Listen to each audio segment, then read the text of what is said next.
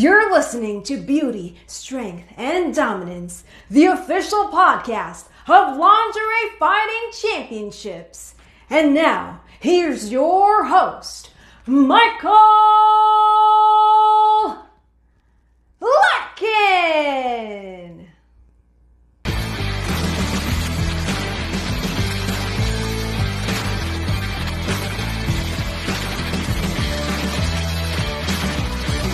Hello, ladies and gentlemen, and welcome back to another edition of Beauty, Strength, and Dominance, the official LFC Lingerie Fighting Championships podcast. My name is Mike Larkin, and joining me once more, a familiar face to the show and a face I'm really, really glad to be seeing again.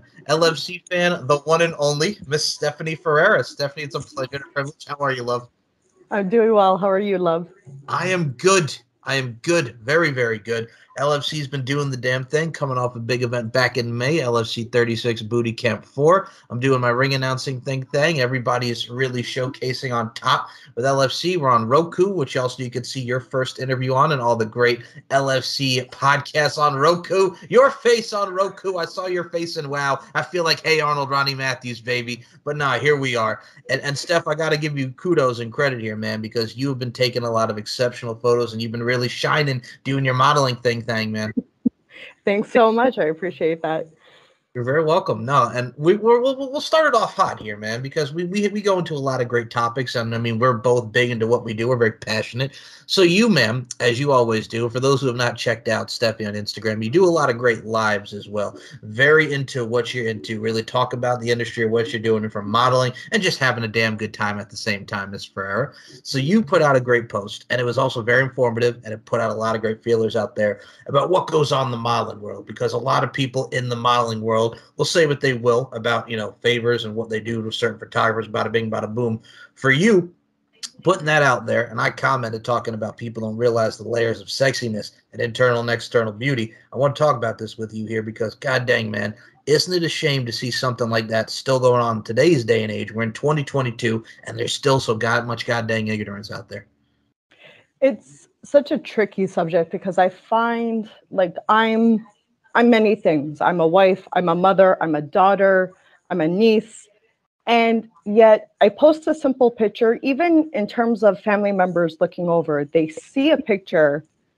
And instead of getting support, what you get is um, you get resistance and pushback. Mm-hmm. And I know that I know, like, I'm not a lingerie fighting champion. I'm not a scrapper, although as of lately, I feel like I am I have become a scrapper. Yep. But I find that now it's 2022 and you know women are well established in their careers. We can have it we can have it our way. We can have families and we can do business at the same time. But yet people don't realize that with our pictures being put out there as a paid model, I'm not an OnlyFans model. I don't do nudes because ill like I don't want to see male pictures coming my way, but the content that I put out there is so that another woman can be inspired to feel good about herself. So it gets lost in translation. And it's such a struggle when you put something out there and people instead of saying, wow, this is your perspective, I appreciate it, they kind of say, well, this is what you're actually saying without saying it. You're implying this. Mm-hmm and then all of a sudden i want to become i want to become some of my favorites. I want to become a fighter. And i want to knock them out because they're not willing to listen. They just want to run with the idea. It's so, so well no that's so funny. I don't mean to cut you off but that's the thing too now is people either don't listen or they're to quote ricky bobby you know what's the implications of your actions? So what's implications mean? We're no longer friends. So that mindset gets into of the implication side of things. And the fact is, I've experienced it myself, and I love my family, but I also have family members that are kind of strict towards the Catholic realm. It's not that you know it's going towards porn; it's going towards what have you. It's it's another layer of beauty. It's another layer of art and another layer of your craft that people just automatically here's this. Oh, but you must be doing this and going this way. It's no, no. I'm on my straight and on my path, and this is what I'm doing. So I feel you. I mean, right. it, it, it falls hand in hand with LFC too. Go ahead. I noticed that like even with LFC, I'm sure it happens where, you know, if a young woman or even a more seasoned vet with lots of fight of fighting experience has to spend time with a coach who's the opposite sex. Mm-hmm. And suddenly, oh, you guys are spending so much time together. I bet you guys are doing the dirty. You guys are doing the nasty. And you kind of sit there and go, no wonder why these women are going to get frustrated, take it out on an opponent. Because at least they have that luxury of taking it out on an opponent. Right. No, no, it's funny you bring that up too because like a lot of that has even happened like surprisingly with me because I hang out with all these ladies. I do, you know, I have hands on, you know, podcasts and what have you. A lot of them think you like, oh, I'm doing favors of my own right, and this has happened. You would, it, it's and it's nuts because from the male point of view, and I'll say this: a guy just can't be, and I'm sure it can be very vice versa here, and this is a very important topic. A guy can be appreciative a guy can be very respectful and loving and kind and confident and really uplift a female. It doesn't mean like I just want to have sex with them directly. That's the misconception. Not everything has to go into the bedroom. Everything doesn't have to be behind closed doors. What you see is what you get, even in front of your face. It doesn't have to have those implications like we mentioned, or it doesn't have to be perceived in a certain light, which it's not. Even with that, like to add to it, I've even noticed a lot of things. People see the pictures or they see the championship fights mm-hmm. where you know my Jolene Hexx, you know, just completely knocks out the opponent. You know, respect to the opponent, but you know, Jolene has a special place in my heart. Mm-hmm. Now, just imagine the rejection that she must have faced once upon a time. Going to a trainer who she was looking for help, for guidance, and being rejected for whatever reason. And you don't see that on social media. You don't see that on the big models pages. You don't see that with celebrities. You just see the success story. You don't see the support that goes into that individual. I'll be honest with you. My model, uh, my modeling pictures are risque. But before I post them, I show them to my spouse. And I say, babe, look at what I did. What do you think? You know, kind of too much, not enough. What do you think? Is there a good in between? And people don't realize that as soon as I post it, it's out there. There's no taking it back. I can delete it. It's never going away. Just like in the sports world, any athlete. The one time that they win, or if they win multiple times, oh, you know, you won, that's great. Don't let it get to your head. But the second they lose, people love to drag that out for so long and all it does is just create more fire more inspiration for the individual the athlete um, the wife the daughter the sister to keep going so Oh, right. And well, that's the thing, too, as well. Which, first of all, I'm going to say this. When it comes to Jolene, like you mentioned, one of your favorites, the Krav Maga expert, the current LFC champion, the current European champ, the booty camp champ, champ chain holder. She's one in a million, one in the same. And I look at her from the stance too as well. Here's a woman studied the Krav Maga, but also at the same time very multifaceted. Sessions wrestler, fetish model, boom, boom, boom. You'd have to think, and I could say this as well. Like, there's a lot of the girls that people and guys and what have you. We see just those particular images. We see the fights, and it will judge in one perceived notion of just, oh God, it's just it's risque, like you mentioned, risque photos, risque fighting, what have you everything is going to be complaining risque. Like I've seen your photos, and I'm going to say this right now, as your friend, and with the utmost sincere mm-hmm. respect, your voluptuosity factor showing. Whether it be in lingerie, you're dressed like Chucky, you're cosplaying Star Trek. Hello, it's one of those things where you can look at an image. You can see the difference that goes into the image. You're applying to many different demographics and subsets with how you're feeling with your imagery. So I mean, it's a jill of all trades, so to speak. But I think with each image shows beauty, it shows a story, and it shows really what a lot of people are appealed to and really find a lot of gravitation towards. I appreciate you saying that so much. Just to hear it coming from a male perspective, it's so much appreciated because as of lately, I feel like I've been getting a lot of pushback. I've been well, but the pushback and the resistance that I've been getting has been a little bit much. And what people don't see is my downtime, my sad time where I'm told I'm not large enough, I'm not small enough, I'm told so many things. And then what people don't see is the prep the day before, earlier in, in the day to even get ready for these shoots. A lot of the times, if there's makeup artists involved, they're going to do your makeup in a way that you kind of say, I look nothing like myself. I know that when I see these photos, it's going to look like a high edited perfect 10 out of 10 version of myself where I'm unrecognizable.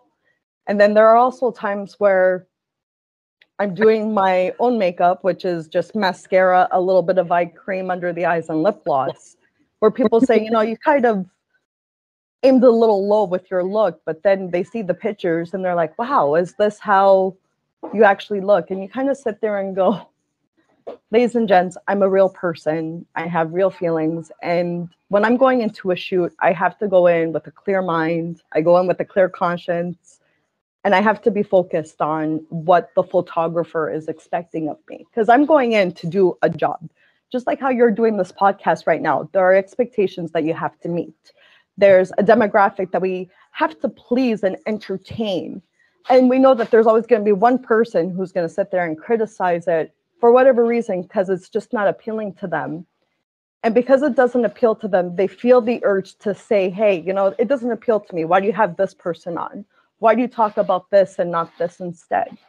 Meanwhile, it gets to that point where there needs to be that level of communication and understanding. If you are the one who's hiring me to do your podcast, I expect you to tell me what your expectations are so I can meet it. But if you go in and say, you know, you can kind of wing it, do whatever you want, don't worry about anything, I'm going to wing it. I'm going to do whatever I please. First off, stop giving my secrets out to the people. No, I'm kidding. But I mean, no, that no, I agree. And but the thing too is when you're going to podcasting or a shoot, and I say this, and I'll I'll say this right now. When I talk about beauty, strength, and dominance, when I talk about being the representation of your presentation, people understand where I'm coming from. There's going to be that 50-50 of okay, I get what he's saying, I get what we want, or then there's the other part. It's just like that's just words, or they don't understand it, even if you break it down to them.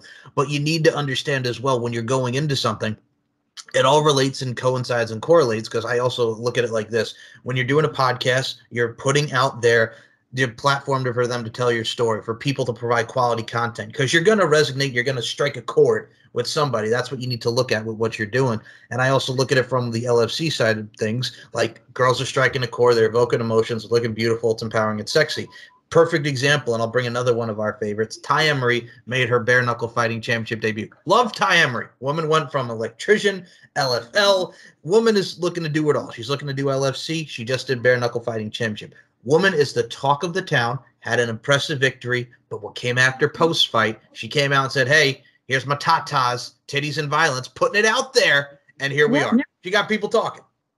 Yeah. And it's funny because I've noticed that even with resistance, when people are speaking not so kindly, whether it's about an athlete, the person that you know, the girl living down the street, your neighbor, whatever the case may be, the girl at the grocery store.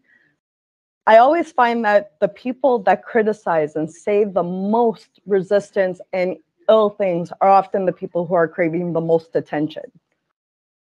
They don't have that confidence to put it up there. They don't have that engagement, that interaction capability to say, you know, this is me.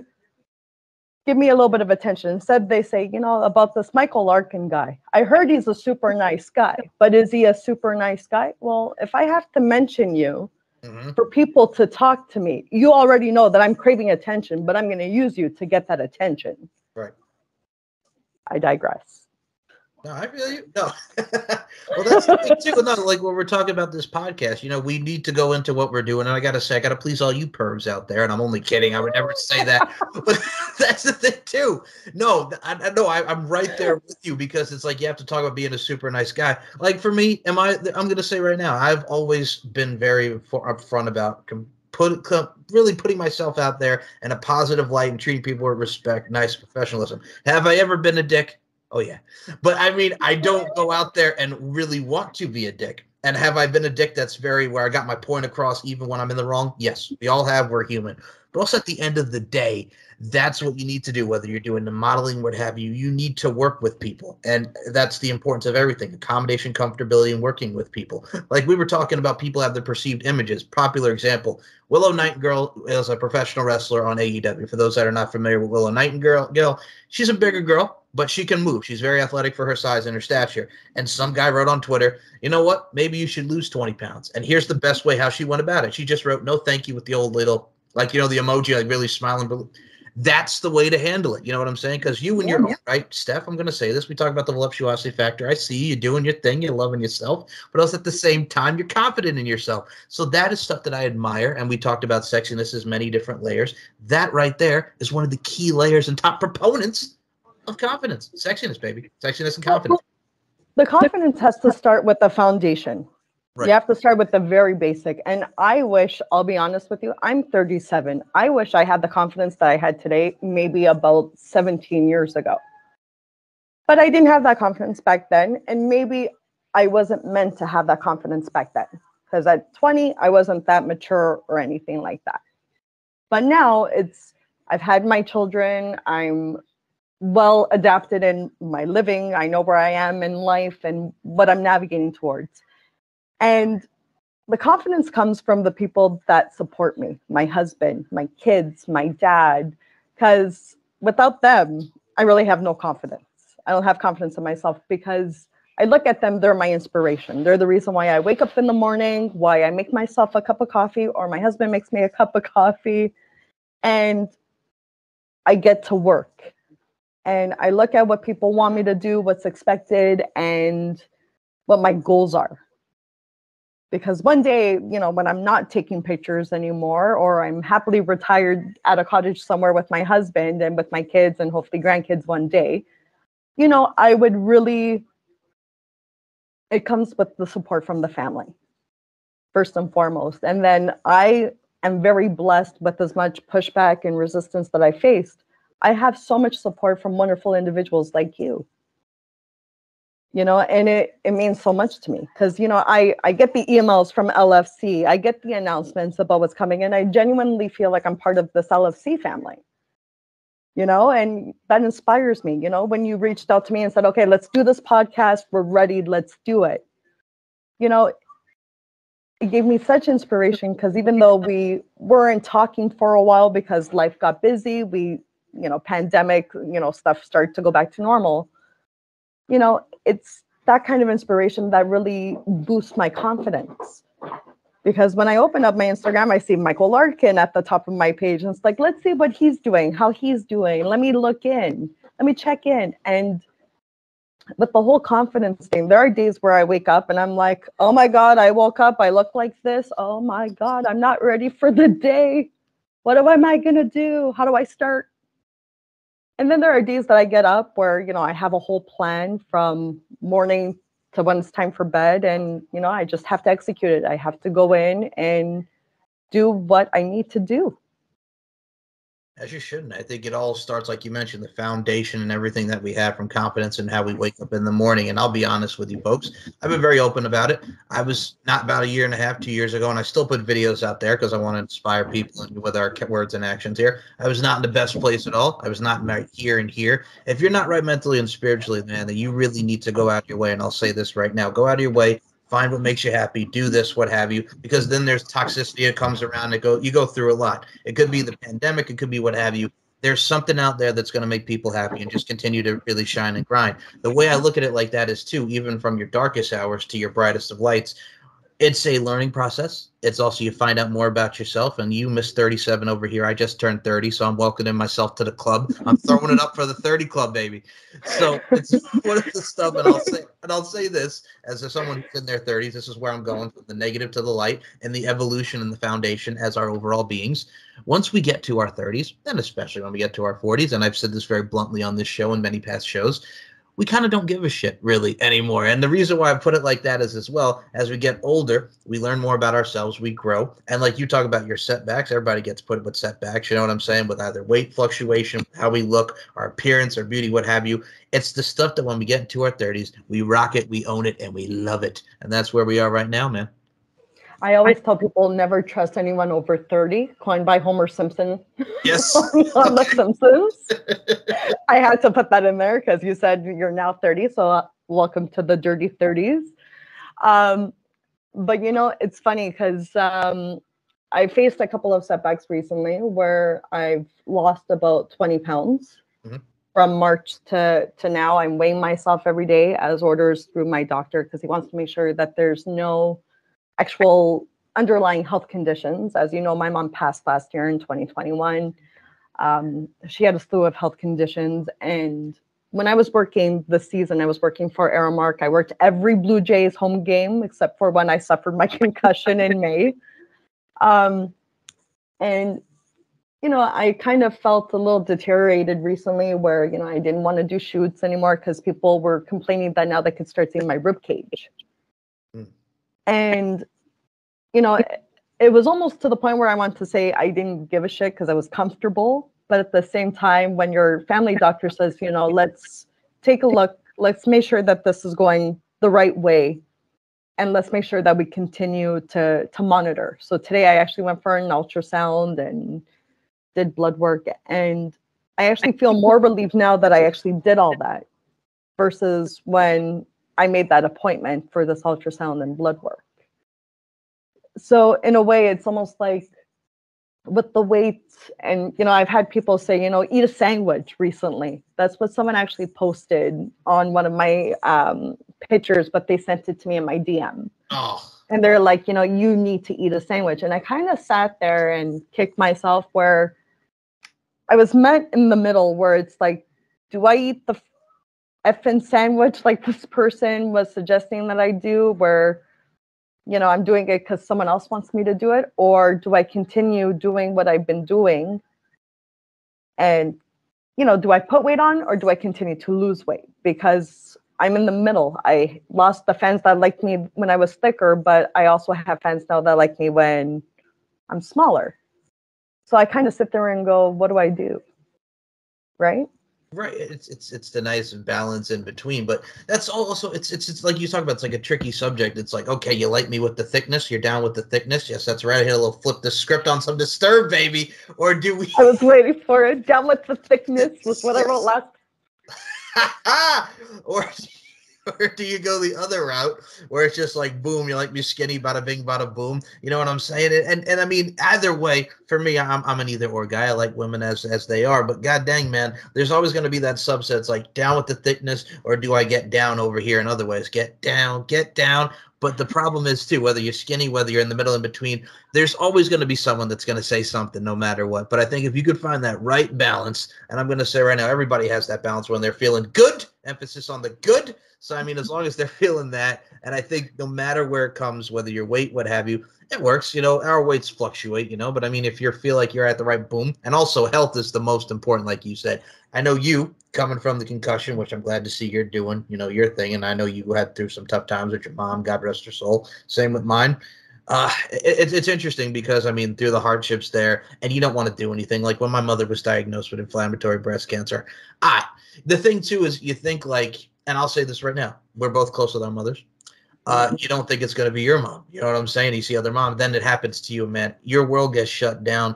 But you know, there's always something that goes into it, whether it be moments, memories to be created, their spirit, they're here, non-living, what have you. It's something that always has that incredible bond. And I'll say this to you again: love, respect, a whole nine. I think your mom's very proud of what you're doing. So keep on doing what you're doing. I think she's I think she's proud too, and I know your mom's definitely proud because of everything that you are, who you've become. I'm so proud of you. Thank you. Um, because like I said, with this whole LFC thing, even with Muscle Sport, I know that I haven't been with Muscle Sport Mag in so long. You know, I'm actually forever grateful that I was part of that family for a little while because it actually introduced me to you.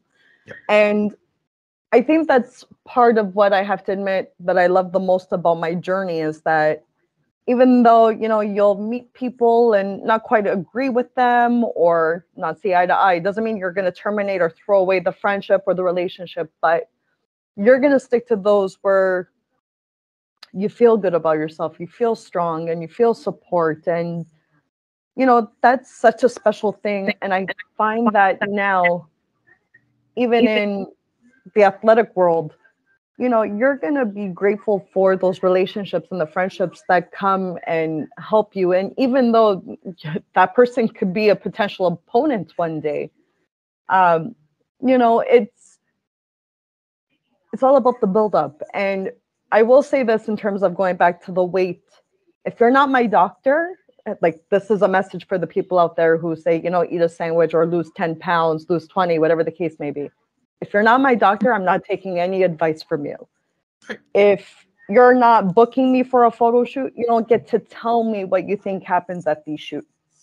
Because I'm I'm an open book. If people have questions, I'm more than happy to answer. I'll actually give you a little bit of wisdom in terms of what's happening in my life. And our parents, our mothers, especially that we lost them, our mothers raised us so that we know ourselves the most.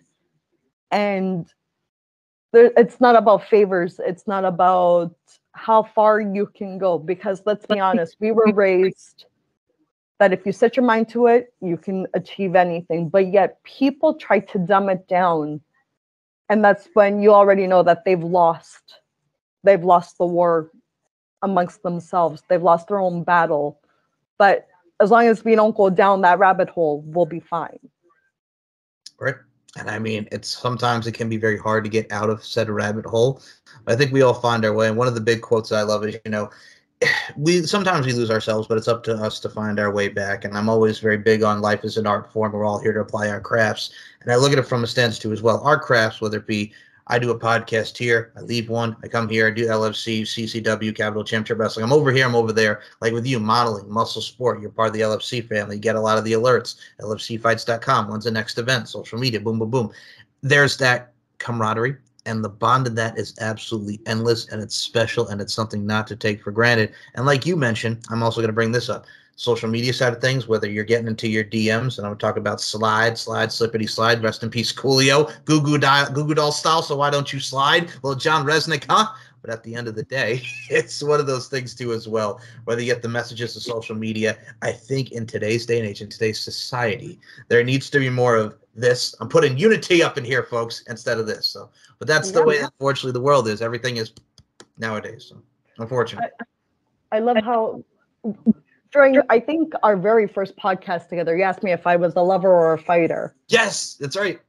But I'm finding more and more that I'm becoming a fighter and less less of a lover because the love that we put out there has been torn to shreds where you're like, you know what? You want to fight? Let's fight.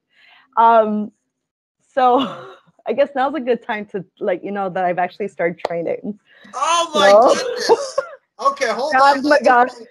So part of the weight loss has actually been part of stunt training and stunt fighting and Krav Maga because not with just the modeling, but I've been acting as well. I just had my premiere of Good Black air on CBC here in Toronto, part of the Absolutely Canadian block. It was known as Being Black in 2022 in Toronto, sorry.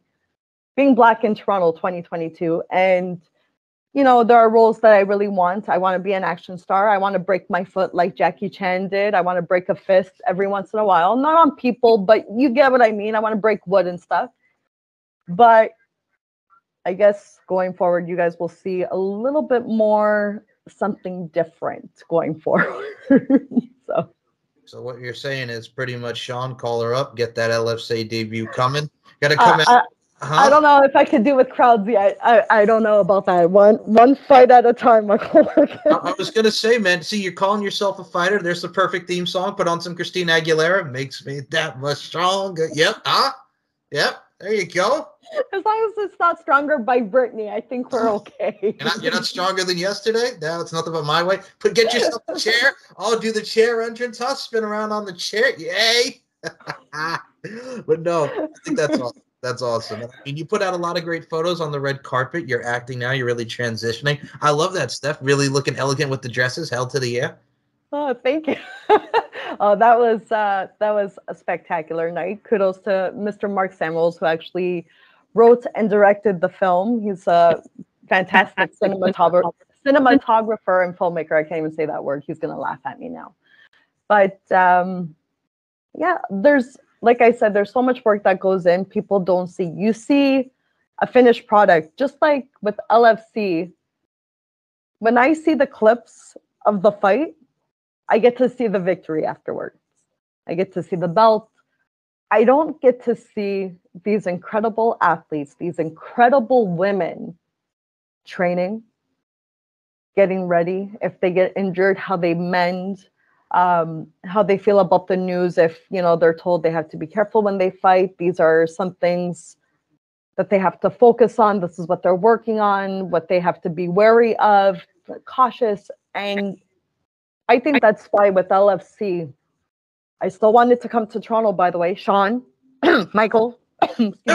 Sean, more Sean. I'm okay though. Um, it's just, I would love to see a documentary on these women. So I'm putting that out there into the universe. Sean, let it manifest for Stephanie Ferreira, just putting it out there. But, you know, if I were to do a project, I would want to have a project of LFC done. That I think, other than bringing the entire championship to Toronto, please. That's what I want to manifest. I want to see a documentary showcasing all these lovely, lovely athletes and just them kicking ass, taking names, and just being these incredible, multifaceted ladies. And I just like the utmost respect to them all. Thank you. No, well, here's the thing, and I will say this little cheap plug ski for the LFC. If you go into LFCfights.com, there's going to be more added. Check out the LFC Exposed reality show. That is one of the biggest, great documentaries of the LFC, is LFC Exposed, which goes into every fight every what have you. So it's it's a nice little intricacy. But the documentary of LFC from Lingerie Fighting Championships, it's, it's an inception like 2013, boom to here to now. I think what, what Sean does, and especially with stuff that's going to be added, which we'll get Sean on here to talk about that.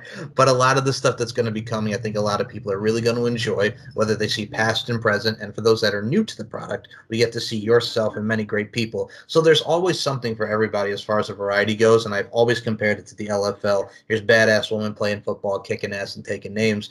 And I think what's great about the product too is as well with what I encompass and what everybody encompasses the lingerie side of things. Again, some people will say what they will, but for you, Stephanie Ferrer, you're training, you got your Krav Maga, you're idolizing, you're also putting a little more influence with your Krav Maga, like your hero, Jolene the Valkyrie Hexx, who also does her thing thing with Krav Maga. So you're training baby steps, you know what I'm saying? Because this also brings to possibly a new fighter in the future. So we're, we're seeing the groundwork here, man. We're seeing the development. There's, there's a little bit of foundation going on just because I think when you're introdu- introduced to something and people start reaching out to you saying, you know, I would love to see you fight. And at first, I'm sure you know this, but at first we had someone last year kind of constantly messaging me saying, you versus this person, you okay. fighting that person.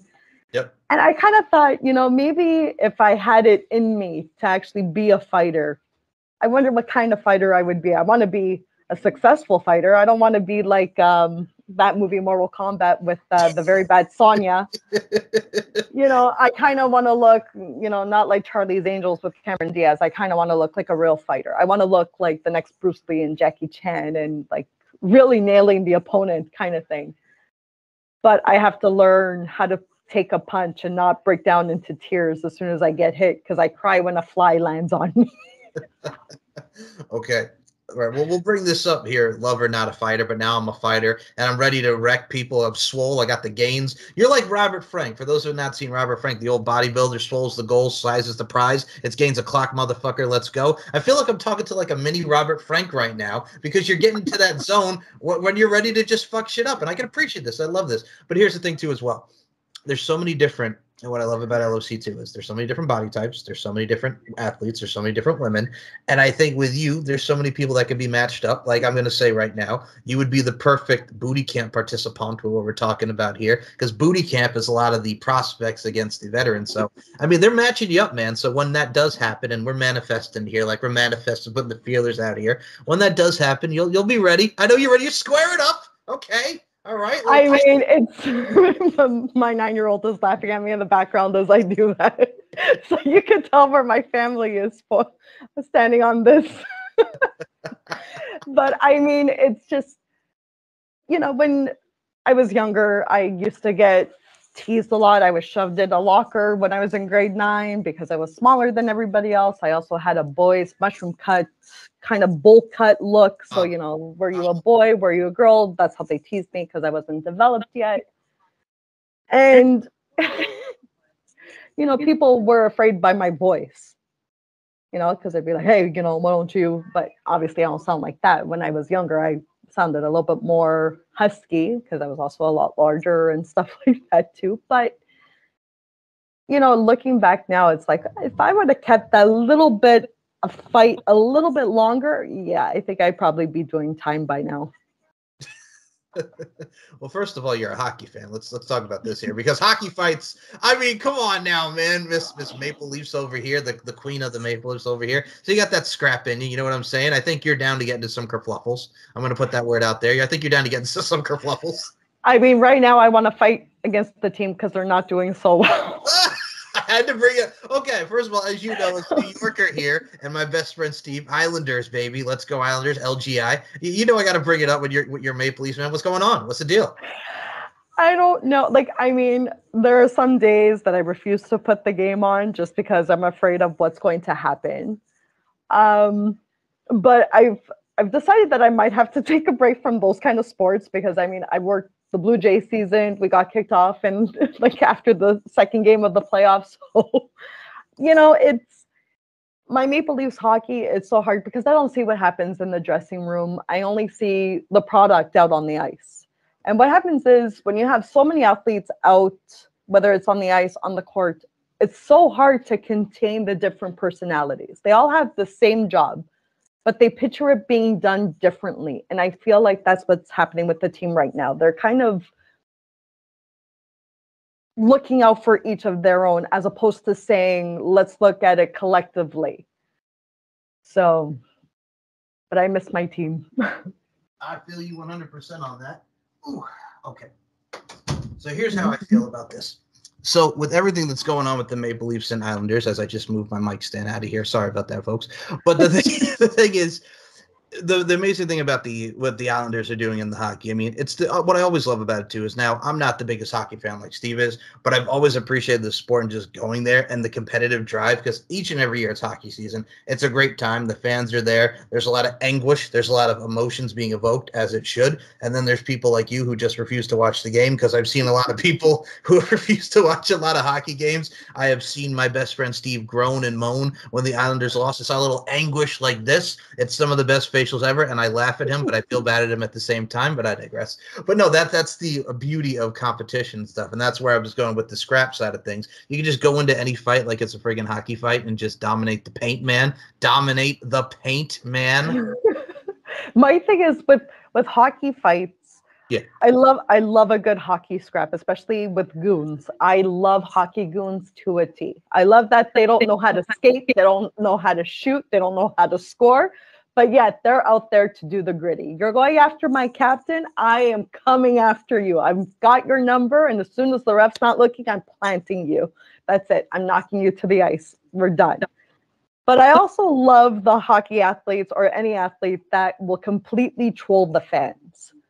Where, you know, they'll grab the opponent and they've got them by the jersey and it looks like they're just ready to start. Instead, they start dancing together that is something 100% I would do. Like, if you were to say to me, Steph, your first fight is going to be against Jolene Hexx, I would be like, okay, let's get off. And then I'd be like, okay, and twerk, and twerk, and twerk, and twerk.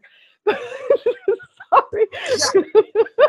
well, have you have you seen have you seen Jolene's finisher? It's like a triangle choke, but like she twerks on him. For, for perfect example, go back and watch LFC 30 Born to Be Wild, Jolene and Allie Baby Doll Parks in Allie's retirement match. She took her out with a little triangle. She put her butt in her face. It was the twerk city, man. It was like a twerk version of the triangle choke. I've never seen anything like this before in my life. So I mean, now you want to add the twerkage to it. I see you.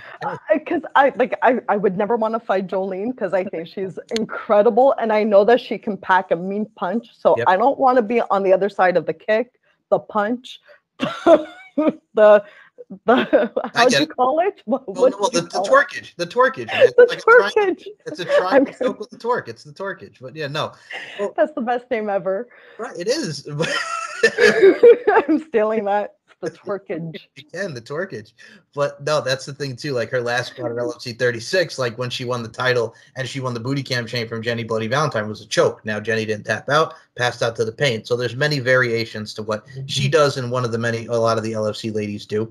Which I got to bring this also to LFC because Girlgoyle, man, I'm gonna put it on the screen so folks, when you see this, you'll see boom goes right to Stephanie here and her lovely photo here by the one and only T Bell himself. And no, I'm not talking about Taco Bell. I'm talking about Tommy Bell art. My dude did a great drawing of you with the Girlgoyle style. I am quartered it to the LFC Instagram and on the TikTok and Twitter, the Halloween aspects of Tommy Bell and everything that he's encompassed from the artwork and going into LFC 35 Booty Camp 3D last Halloween. So for you, being a piece in his artwork, his illustrations being the best representation of his presentation, Tommy Bell got you spot on. Girlgoyle, what were your thoughts being involved in a Tommy Bell original?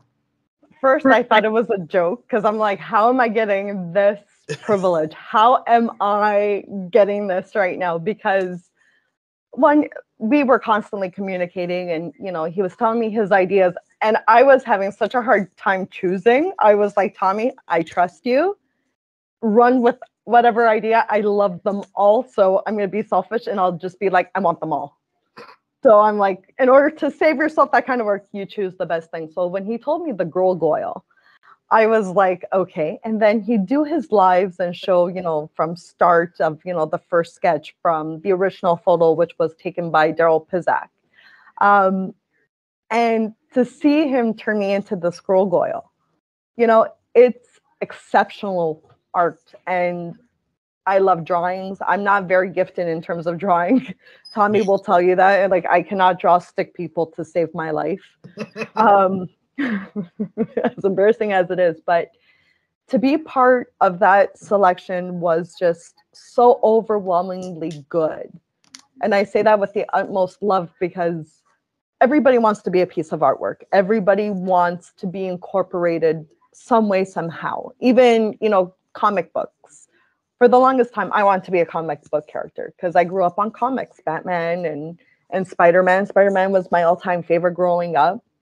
The Hulk, the Gray Hulk, he wasn't green originally. Like when I see artwork like that, because I had seen what he had done for LFC, I thought, wow, this is incredible. And I followed him just because I wanted to see who else he was going to draw, who's next, what ideas are coming to his mind, what do the girls have in mind and when i saw the finished product like i like i'm still feeling it like i'm actually getting chills and goosebumps it felt so genuinely nice to be part of that and i've had people say you know i want to draw you like the french girls like you know as if i'm rose you know talking to jack from the titanic or you kind of go you know you, you don't have to draw me or eh, it's okay you know I'm, I'm sure you've got some weird thing that you want to draw like an anime style photo of me which I don't want to see. But when it's someone like Tommy, where you know I consider him like one of our the greatest painters of our time, and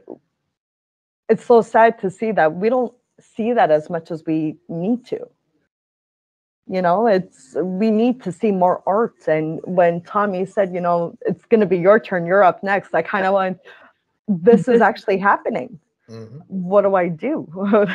like, it, it's one thing when you imagine it and you want it to happen, but you're kind of like, nah, I don't think I'm gonna ask. And then when it finally happens, you're like, oh, this is this is happening. I don't know how to deal with this. And the results were greater than what I could have ever imagined. Right.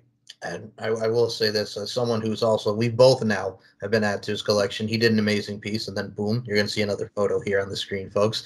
Beauty, strength, and dominance for the podcast, including Jolene the Valkyrie Hexx, including Jenny Bloody Valentine, Audrey Monique, Bella Hake. That dude has such a great intricate to detail. Now, he's not just done LFC, he's drawn many miles like Andrea Christine. He's done many, many of talents on that side of things. What I always love about him is he works with you. He provides the live video. He's like, boom, what do you want to do here? Let's do this. Let's do that. It's the accommodation comfortability factor that I mentioned that really makes you feel like you're a part of something special, which it actually is. And the thing like him is he really pays attention. He loves what he does. And that dude is just going to continue to flourish and he's going to continue to shine. So I'll say this right now. Much love to you, Tommy, and follow at Tommy Bell Art on the Twitter, the Instagram, wherever you get them on social medias. And I'm going to put this little video in here as well for y'all can see a little Halloween, which is brew. And here's what I like about this. You'll like this. So for Halloween, when I was do making this, right, this is a little behind the scenes, folks. So I'm a 90s kid, 2001. Halloweentown 2 Kalabar's Revenge. Yes, I'm talking about Kimberly J. Brown and the late great Debbie Reynolds. That was the song that was featured in the party scene. I had to do it. You know me, Steph. I had to put a little Disney there. you know what? It's just when I saw that video come out, I was like, what's this? And as soon as I start to watch, I was like, oh la la. And then I got your message after the fact, and I'm like, oh shit, like, this is incredible. Like you're in this for a reason, Stephanie. Like you might have to watch this. I see LFC and I'm like, I'm not part of LFC, and then I see uh, I see LFC and I'm like, oh, Tommy Bellart, there we are. Wait, no, I get I get giddy when it comes to LFC. Anytime I get a message from you, Sean, if the girls, any one of those athletes from LFC likes a tweet that I mentioned in, and it pops up on my phone as a notification, I practically fall out of my seat. So they're like, "Oh my god." They're tweeting me. They're liking something that I'm involved with. How it might be my handle, but I'm I'm running with it. I'm happy with this. So fangirl moment. So um yeah, that might be another reason why LFC and me might not work out is that I might fangirl and need a stretcher by the time I even get close to the rink. Okay, so I'll make a comparison, and I like her because she's she's fought in Sturgis. So Mai Richards, who was one of the girls that fought in Sturgis, she actually started as one of the ring girls for the for the first event in Sturgis. Then she transitioned to the fighting role, and I love her. But here's the thing that I I, I was kind of about her. Mai's a great talent, great person, lovely spirit, but you can't keep smiling when you're in there. This is why I say this because you're in a fight. The smile is infectious, and I love it. But you can't be smiling like while you're in there, like you know you're ready to go. You're ready to scrap, if you will. You know what I'm saying? We're tired. I'm going to use another word here, Steph. We're tired of the bitch assness. So the bitch assness needs to be taken care of here, and you can't keep smiling when we're doing it. So you got to wipe the smile a little bit. I know you're fun. I know you're excited, but hey, wipe the smile off your face. This is not a vitamin C movement. We're not pulling a smile on your face. What you're going to do? Say what you're going to do. It's gone. It's got to be gone. Too late. No, it's gonna be worse. that would be me. I'd be like, um, can't fight today. How come? Too giddy. Too giddy. Just give me the sign. I'll be the ring girl for now. Move. oh my goodness. Well, that's actually that's a great point too, because I think, and what I've learned as doing the announcing stuff now for the booty camp shows, what I've always learned, and I say this like we talk about the production side of mm-hmm. things, what goes in front of the camera, behind the camera, every part of it has a role, whether it's ring girl, announcer, commentator, what have you. Everybody has a role, so everybody would be filling their roles in amazing fashion. So I feel you. Get that ring card, girl, man. Do you think? You know, hey, huh? can see me turn into a hockey player. Just body check the poor ring girl. Like I- I'm not fighting today, but move. Uh, to be honest with you, like my my kids and I were talking about this the other day, going, you know, how do you think they brought props into fighting? Right. You know, especially when we watched the old wrestling matches with them taking the folding chairs and whipping it across each other's back.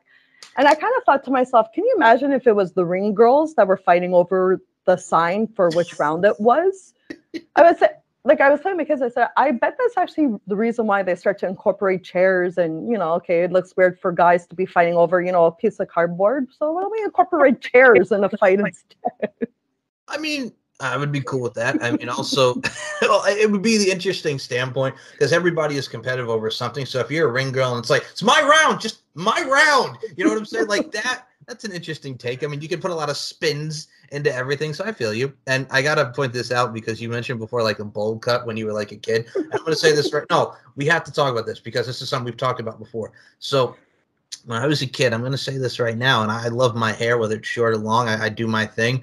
But when I was a kid, you could see old photos of me. I kind of had like the penis tip, and what I mean by that is it's like the long hair out, and yeah, and and I'm gonna say this because we've talked about it before. I looked like Aaron Carter in Crazy Little Party Girl. Oh, how I love you. So I, I was like a mini Aaron Carter before he got drugged out and tattoos on his face. But like I, I look like a mini Aaron Carter, and I'm like I'm not gonna lie, it was my party. I was coming to get it, you know. But hey, I, I, I had the penis tip, so you can have the bowl cut. I'll have the penis tip. Look at our friend Tommy Bell for God's sake. He put up a photo of him from the '80s. I said, Tommy, look at you, man. You had hair, and you looked like you were. No, here's here. Hold on here. I said, Tommy, you had hair, and I said you looked like you were a lost member of a new wave rock band. You know, God bless you. Put on some Eagles, sing some Hotel California. But no, that's that's that's the thing. So we all have our little hairs, and we all have our little style, so to speak. It's the awkward phases. So to speak. I mean, I, I wish I could say it was an awkward phase that I brought on myself, but Right. it wasn't. I actually I actually brought on an awkward phase back in August. I actually had a, a shoot recent uh, that in August, and I decided to put red dye in my hair. It was like red uh, hairspray. Okay. I went inside the pool and my hair bled.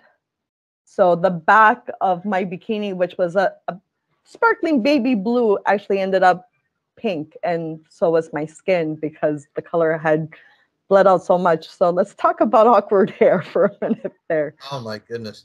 Right, We gonna- need to challenge Tommy Bell Art to put Yes. on a mullet oh, and ah. do a podcast with us. I think your- we need to do that. get yourself a mullet, Tommy. You'll get you on the pop culture show with myself, Stephanie, and you, as we've talked about.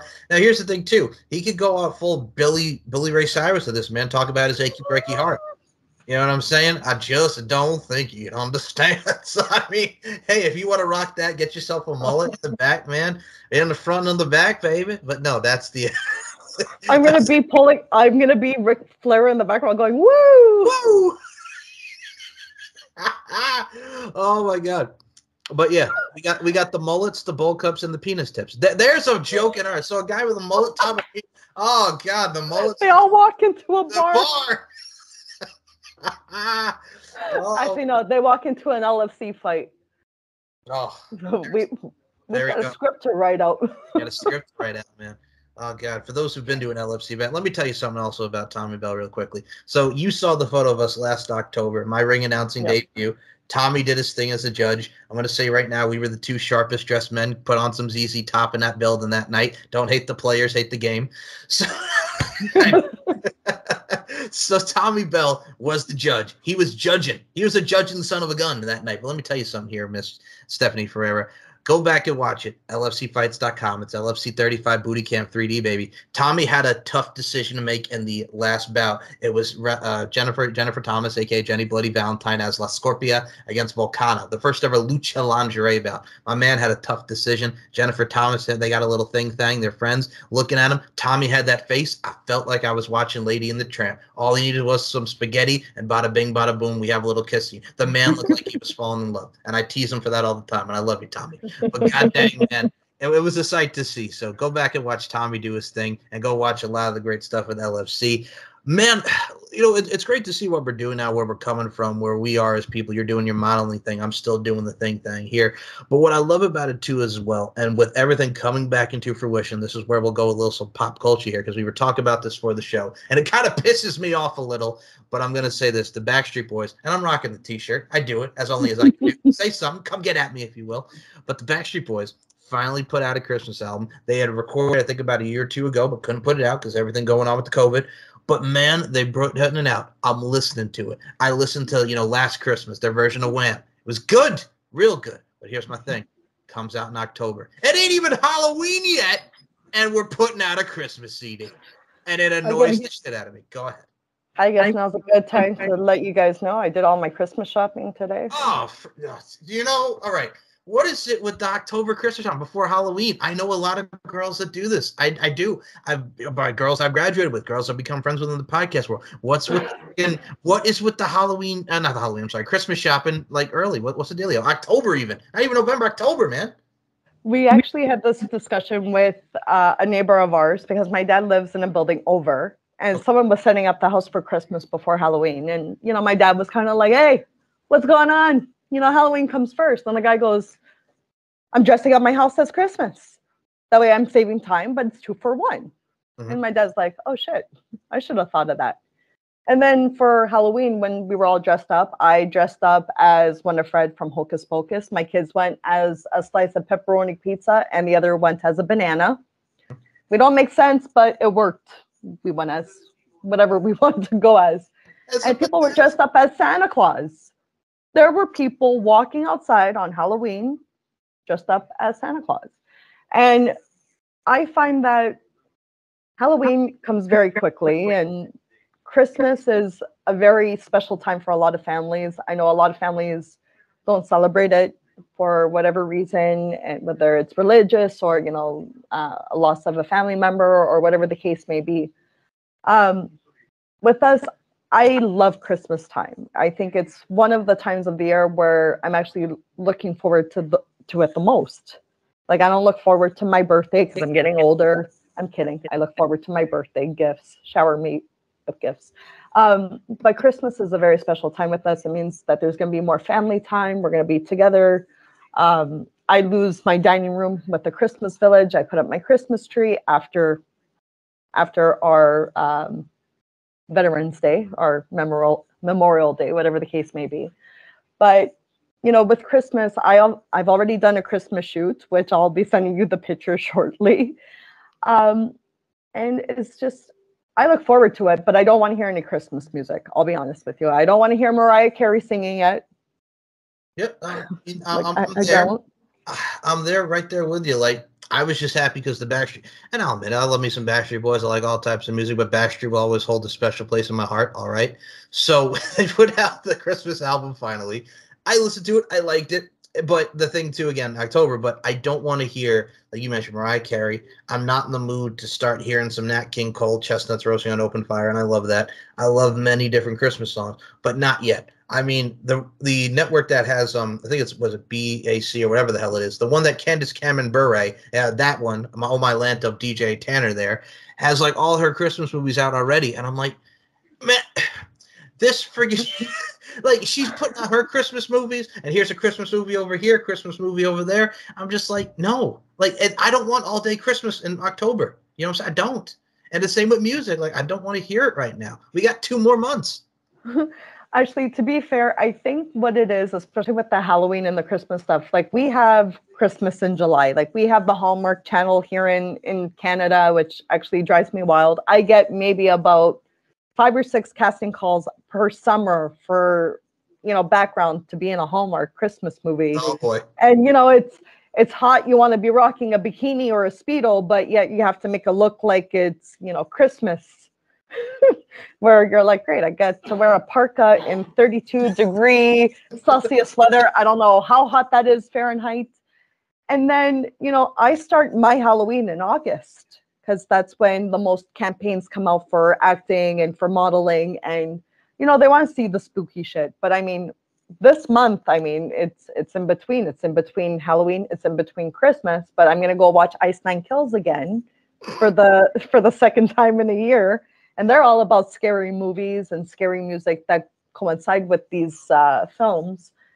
And you know we go from christmas in july to halloween in august halloween again in october and then christmas starting from november until the new year Yeah, I mean it's it's crazy. it's a crazy ordeal, and we get the Hallmark channel here too. Yeah, and, and it's funny too about it because you're missing out one detail here. Because if I know you, Miss Stephanie Ferrer, besides the fact that we get to see the Hallmark channel, all these great things that you got over there in the Canada, man, repping in Toronto, man, we gotta bring this up here. You're also rocking your old school MuchMusic. Get your Ed the Sock going. The the presidente of the Ed the Sock fan club. She puts on a little Ricky J. No means no, and he's talking about what the hell's this douchebag here doing, skating on the damn ice.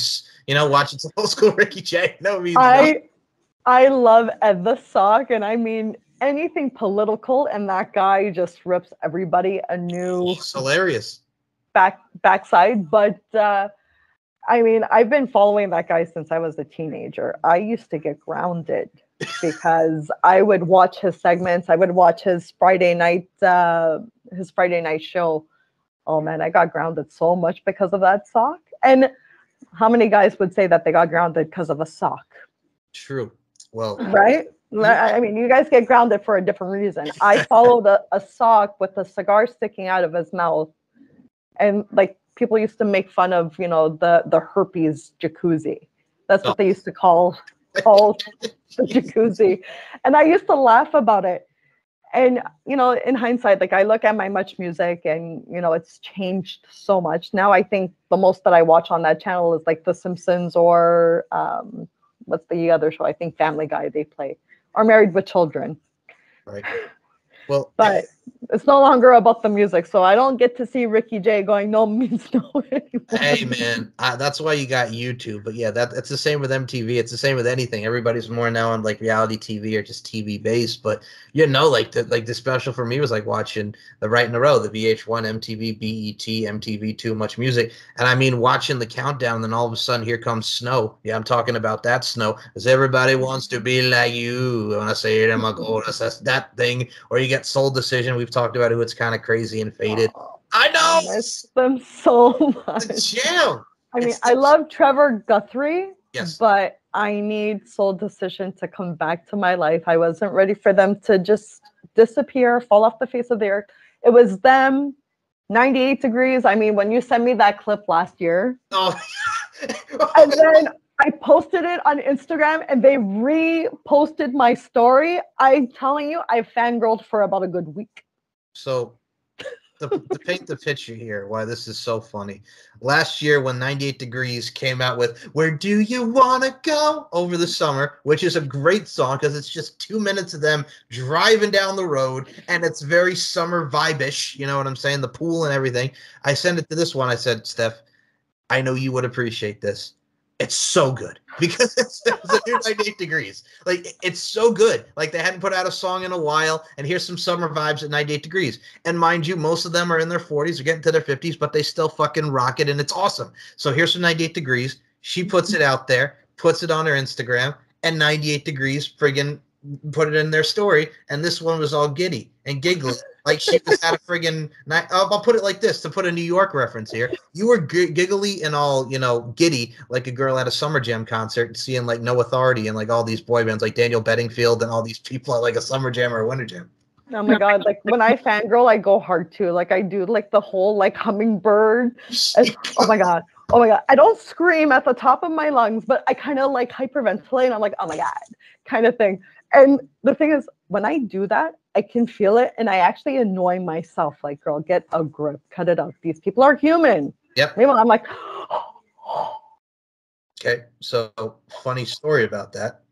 I had this. now, I love interviewed a lot of wrestlers. I've interviewed a lot of musicians. Like when I interviewed Alex Solowitz from Together or Noah Basher from Together, I'm talking about, I know my calculus, it says you plus me equals us. You have to understand, like, it's a different thing with wrestling because I've known a lot of the talents and see them growing up because being in the Northeast, there's a lot of independent wrestling. But when you're seeing somebody that you've either seen on TV, or you listen to their music on the radio, it's a different kind of vibe because you grew up with their music. Like, you know what I'm saying? It has that different feel of like, fanboying or fangirling out. So I, I, can respect that. I don't do the whole thing like you just did there, but I, I get there. you know what I'm saying? I'm I, am I'm in, I'm in there on the inside, if you will. You know. I actually recently I had someone come forward and they liked a picture of mine on Instagram, and I followed this person for years. I love their TV shows. I love the content that they put out there. And the fact that this person reached out and said, I love this photo of you. I'm such a fan. I actually almost passed out. I like looked at my husband. I'm like, I'm going down for the count. And my husband's like, what's wrong? And I'm like, this person just said that they love this photo. They love the message and they're a fan now. And he just kind of looked at me. He was like, cool. And I'm like, how are you not reacting? I need you to react. I mean, like, I I spent an incredible summer. I got to see many people coming to my workplace and I got to, you know, deal with them with white gloves and everything. And as soon as they kind of notice that you're a fan and they're like, it's okay, I'm a normal person, sit down and talk to me, you're like, oh my God, I got to turn off the fandom and be like super serious. And you're like, how's it going? Meanwhile, like you can feel it and you're just like, I'm I'm just dying. Like if Miss Jolene Hexx comes my way, I'm gonna have to try to be super cool and badass that, that I have to look chill. Like so. Meanwhile, I'm gonna be dying on the inside going, Oh my god, oh my god, Michael Larkin, I need a fan. I got you. I would gladly give you a hand. Well, I mean, it's oh my god. Thing. Well, it's the same thing when I first met her, like back in May for the booty camp thing. Just came in, gave her a hug. I mean, that last stilling shot that you see from booty camp four is her and I in the ring. So I mean, like, I know these people, the acquaintance, but I could I could see because everybody has that larger than life, as I do that, the larger than life effect about them, no matter what avenue they are. So I get it, and I think and I think it's wonderful, and I think that's what makes this such a great community, huh? So my if I took a picture with her, it would be her by herself smiling and me just like on the floor in the background, possibly with a smile on my face. Like, yep. I think that might be my next theme for a shoot. I'm calling it now. Let me message a photographer, see if they want to capture that. Richard, LFC photographer. Richard, I'm talking to you, Richard. Get a photo. So it'll be my new profile picture, my new Abby, and everything. I would die, woman. I would die. Yes. so I will say this. As we get the little giggling. Oh my goodness. Before we close this out, and Steph, I will say this. I always love having you on the show. You're always a blast to talk pop culture, music, LFC, fangirling, fanboying, and also the fact that you had a bowl cut and I had a penis tip and Tommy's got his hair, new wave hair. I put it in a podcast, put it in a bar. We're all good anytime I always have you on, you make me smile, you make me giggle as I am right now, and I always have enjoy having you. So you're always welcome on here. The overture is here. Let's let's rock out another one in the future, okay? Definitely. Before we close this out, also as well, even besides the fact of exchanging pleasantries and just doing what cool ass people like ourselves do, us friendliness, our friends. I feel like friggin' Houdini. How many of us have them friends? Friends we can depend on. Somebody put on a next Friday film. Please promote where we can follow you on Facebook, Twitter, Instagram. Even if you're doing a little tickety talk, you can promote that as well. Where can we find you, Steph? You can find me on Twitter or Instagram at Leafs Girl Steph. Okay, perfect, simple, straight to the point. I got you. Leafs girl Steph, she's rocking the hockey vibes, even though she doesn't even want to watch the Maple Leafs because the fact that they said, all right. And again, hold okay. on. Now you want to go because you said they what? It was me five words. So. but see, we're dancing again. I look like I'm trying to do the what's that from the cha cha slide? Oh, the little slide to the left, slide to the right. Yeah, but um which one? Oh, I can't remember. Cha cha. Oh, reverse. left, reverse, reverse. Uh, no, cha cha. Cha cha. cha cha. The cha cha oh my goodness. We're not taking that out. That's staying. no, we absolutely are, man. I felt like I was watching one of the Gibb brothers, man. Shadow dancing. That's what that was. Shadow dancing.